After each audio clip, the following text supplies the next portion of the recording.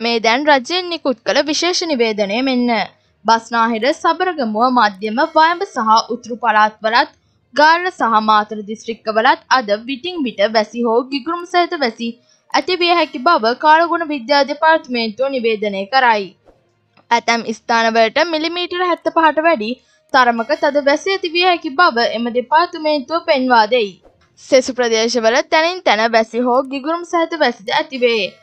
දිවයින පුරා බොහෝ ප්‍රදේශවල අහස වලාකුළින් බරව පවතින අතර ගිගුරුම් සහිත වැසි සමග ඇතිවිය හැකි තාවකාලික තද සුළං වලින් සහ අකුණු මගින් සිදුවන අනතුරු අවම කර ගැනීමට අවශ්‍ය පියවර ගන්නා ලෙස කාලගුණ විද්‍යා දෙපාර්තමේන්තුව ජනතාවගෙන් ඉල්ලා සිටී.